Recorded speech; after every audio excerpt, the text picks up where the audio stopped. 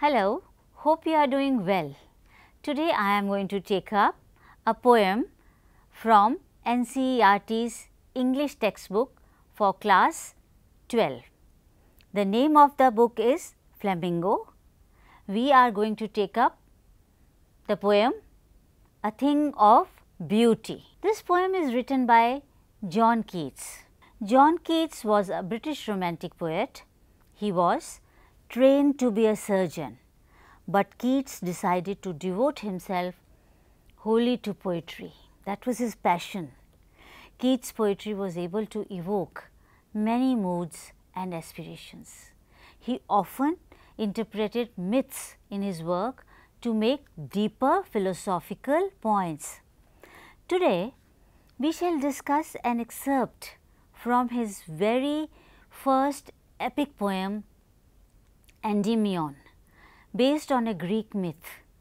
The poem describes how a shepherd named Endymion falls in love with the moon goddess. The poet uses the premise of the story to convey that the journey of finding love or fulfilling a dream is often filled with struggles.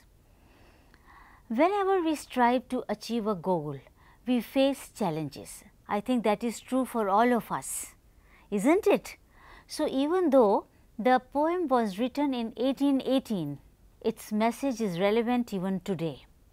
Now, the extract that we will discuss today focuses on how beautiful things give us pleasure and alleviate suffering and sorrow.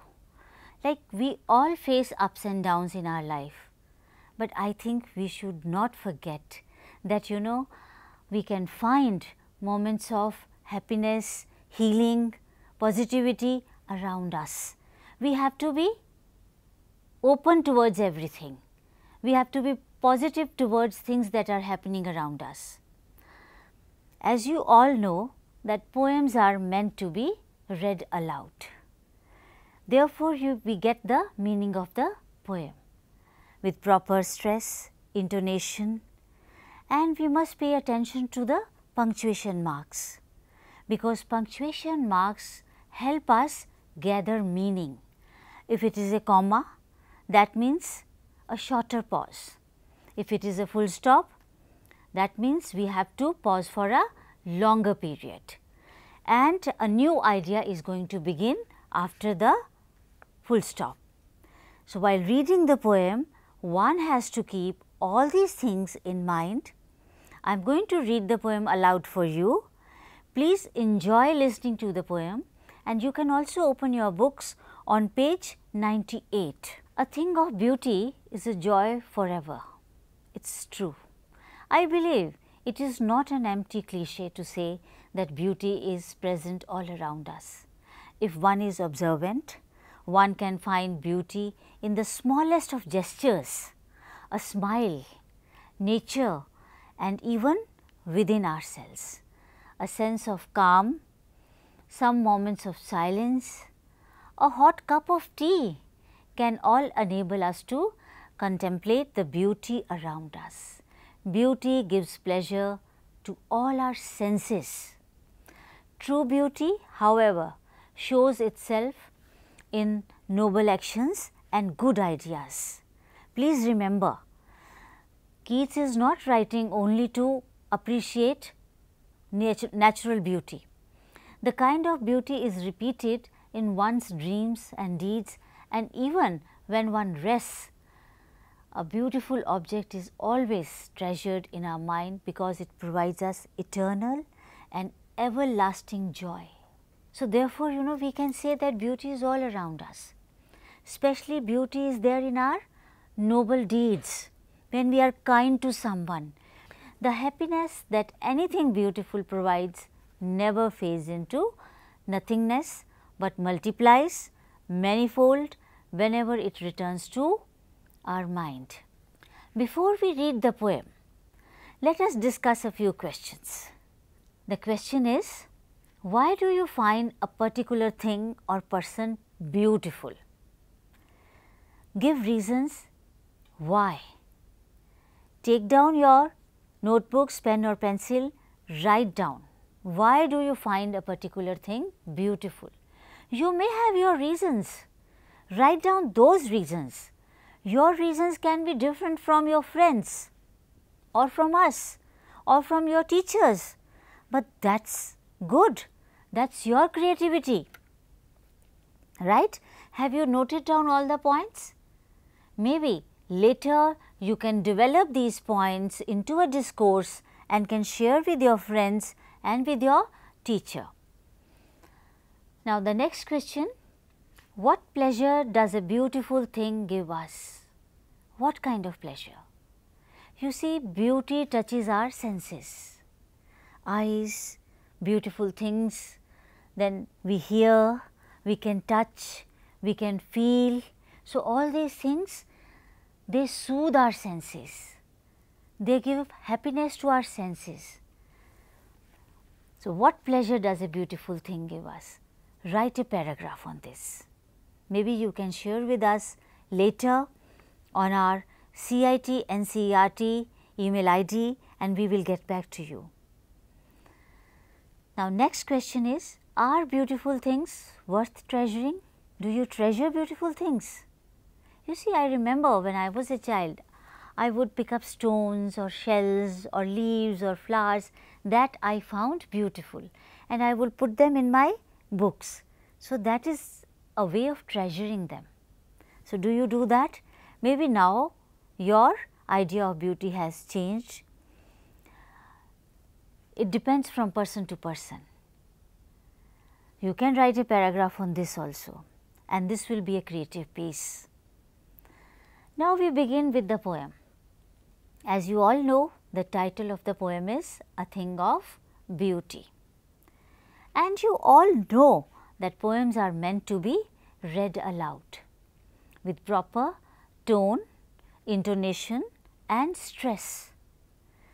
And at the same time, we have to take care of the punctuation marks because punctuation marks help us gather the meaning of the poem. If it is a comma, it is a shorter pause. If it is a semicolon, maybe we pause for a little longer. Full stop means one idea has come to an end. We then we give a greater pause and move on to the next idea. And poems have to be enjoyed. You have to listen to the poem to be able to enjoy it and to get the meaning out of it. You can open your books on page 98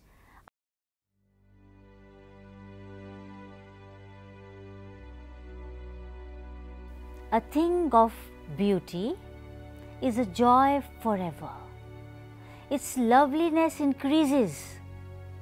It will never pass into nothingness, but will keep a bower quiet for us and a sleep full of sweet dreams and health and quiet breathing.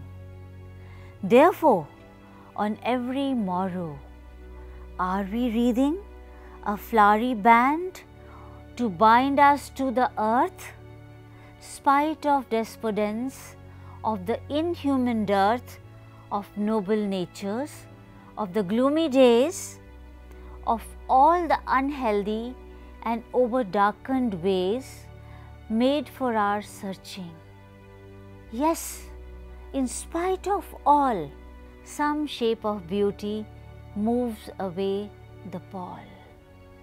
From our dark spirits, such the sun, the moon, trees old and young, sprouting a shady boon for simple sheep, and such are daffodils with the green world they live in and clear rills that for themselves a cooling covert make gains the hot season, the mid forest brake. Rich with sprinkling of fair musk rose blooms, and such too is the grandeur of the dooms we have imagined for the mighty deed. All lovely tales that we have heard or read, an endless fountain of immortal drink, pouring onto us from the heaven's brink. How beautiful the poem is. Did you enjoy listening to the poem? You know, roughly we gather the idea. The poet is trying to tell us that even if there is something sad, we overcome it. There are so many beautiful things around us that they give us solace.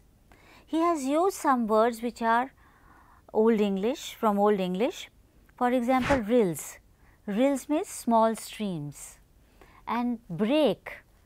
Brake here means a thick mass of ferns.